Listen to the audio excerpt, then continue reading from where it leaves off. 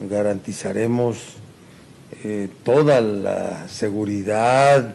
y todas las condiciones de higiene, de prevención para ellos, para que desarrollen un evento eh, en las mejores condiciones. Estoy cierto que también el Ayuntamiento de Puebla hará lo propio